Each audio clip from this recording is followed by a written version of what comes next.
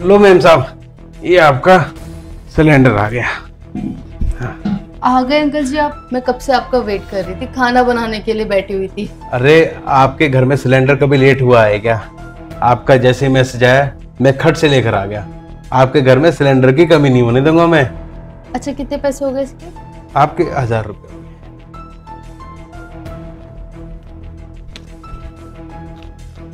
ये लीजिए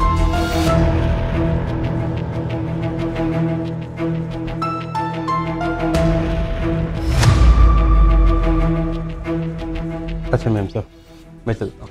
अरे अंकल जी सुनिए ना। मैं ये बोल रही थी आप इतनी दूर से आए हो और बाहर धूप भी बहुत हो रही है। एक काम करिए आप बैठिए मैं कुछ ठंडा पीने के लिए लाती हूँ। अरे नहीं मैं कहीं और पी लूँगा आप परेशान मत हो। अरे नहीं नहीं अंकल जी भला एक गिलास पानी पिलाने में मैं कैसे परेशान हो जाऊँगी? आप बैठिए ना मैं पानी लेकर आती हूँ।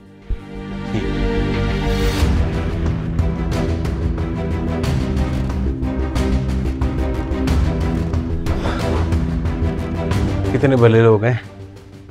गरीब की पेशानी समझते ये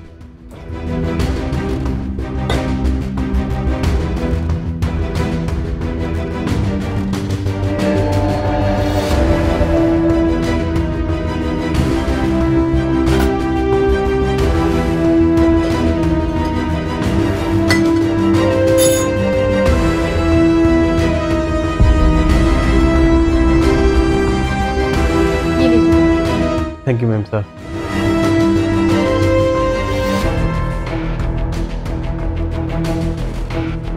बहुत बहुत धन्यवाद आपका।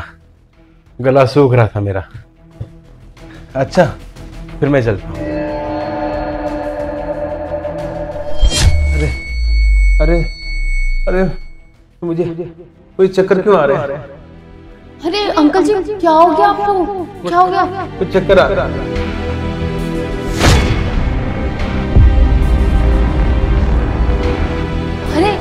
अंकल जी? अंकल जी? तो गया काम से। जल्दी से इसकी ना जेब चेक करती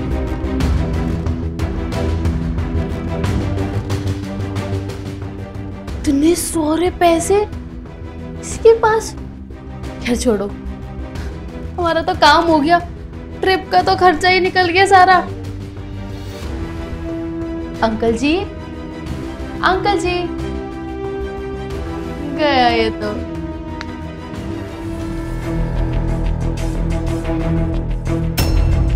अरे ये क्या?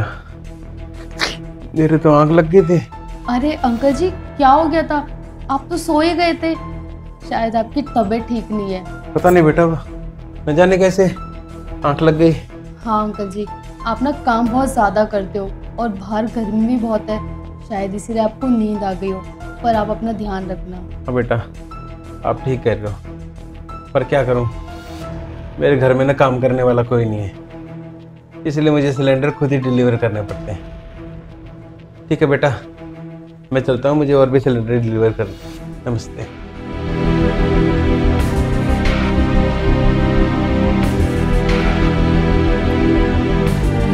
इतने सारे पैसे मज़ा ही आ गया आज तो। ट्रिप का सारा खर्चा निकल जाएगा। बिना मतलब की टेंशन ले रही थी मैं तो। भगवान देता है ना जब भी चप्पर फाड़ के देता है। ऐसे सिलेंडर वाले आते रहे ना मेरी तो मौज हो जाए बस। अब जल्दी से ही आ जाए कि तो गुड न्यूज़ दूँगी। अरे आ गए? हाँ यार। ये कंपनी वाले ना बहुत काम करवाते हैं। वो सब छोड़ो। वैसे भी तुम्हारी थकान का इलाज तो हमने ढूंढ लिया है। गोवा जा रहे हैं ना हम। हाँ मैं उसी बारे में तुमसे बात करने वाला था। हाँ मुझे उसी बारे में तुमसे बात करनी थी निहारिका। हम इस बार गोवा नहीं जा पाएँगे। हम मनाली चलते हैं ना वो क्या है ना गोवा जाने में हमारा थोड़ा बजट मिल रहा है। इसलिए मैंने सोचा कि इस बार हम मनाली चलते हैं। अरे यार तुम बजट की ना टेंशन मत लो। उसका ना इलाज मैंने निकाल लिया है। रुको।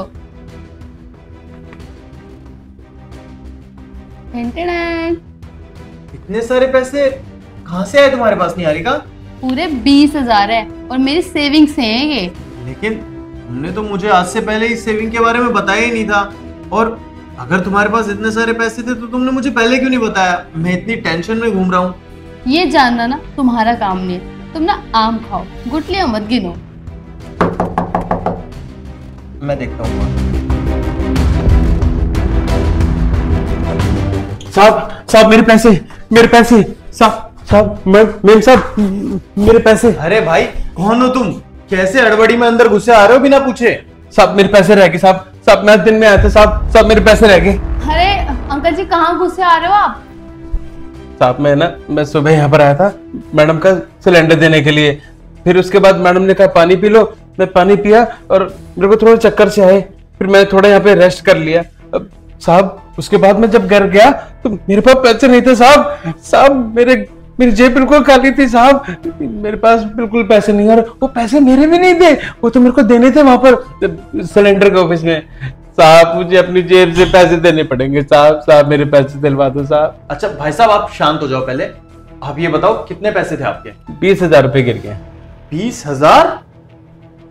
निहारिका जरा अपने पैसे दिखाना। गौरव मेरे पैसे और इनके पैसे से क्या लेना देना? अरे एक बार दिखा तो दो।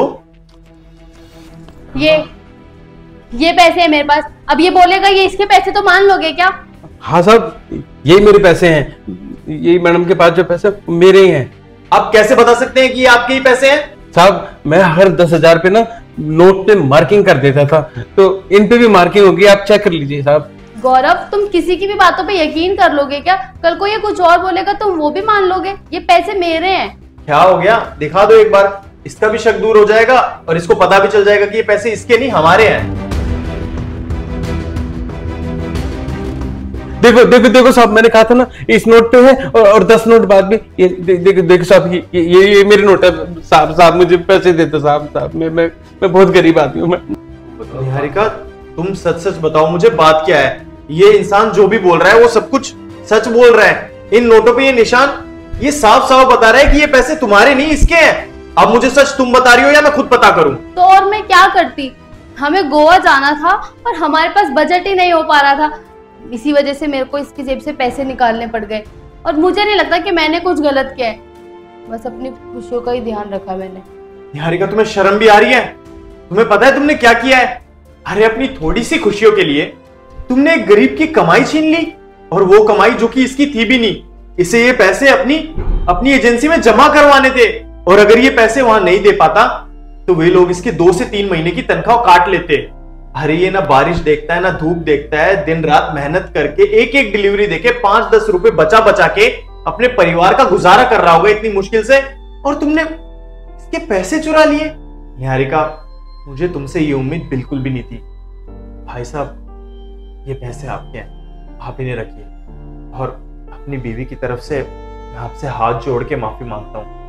प्लीज़ इसे भी माफ़ कर दीजिए और मुझे भी। आइंदा आपके आइंदा आपके साथ ऐसा कभी भी नहीं होगा। और प्लीज़ आप है ना सोसाइटी में ये बात किसी से मत बताइएगा। हमारी बहुत बदनामी हो जाएगी। निहारिका माफ़ी मांगो इनसे। मैं कोई माफ़ी वाफी नहीं मांग रही थी। मुझे लगता है आपको पुलिस में इसकी शिकायत कर ही देनी चाहिए भाई साहब। अरे नहीं नहीं ये क्या बोल रहे हो? मांगती हूँ माफ़ी। नहीं नहीं नहीं नहीं नहीं भाई साहब। देखिए गलती तो सबसे हो जाती है। मैडम से भी गलती होगी। और आप लोग तो मेरे परिवार जैसे हैं। कोई बात नहीं। मेरी तरफ़ से मैंने मैडम को माफ़ किया। मैडम प्लीज़ देखिए, जो आपने मेरे साथ किया ना, किसी और के साथ मत करिएगा। क्या पता उस गरीब को मुझसे भी ज़्यादा ज़रूरत हो और वो बर्बाद हो जाए।